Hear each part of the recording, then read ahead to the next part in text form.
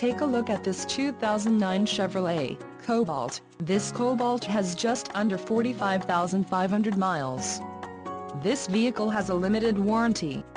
This vehicle gets 25 miles per gallon in the city, and 37 on the highway.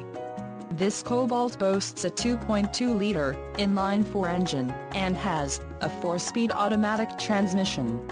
Additional options for this vehicle include power steering, CD player, cruise control, driver airbag and center armrest. Call 888-879-0128 or email our friendly sales staff today to schedule a test drive.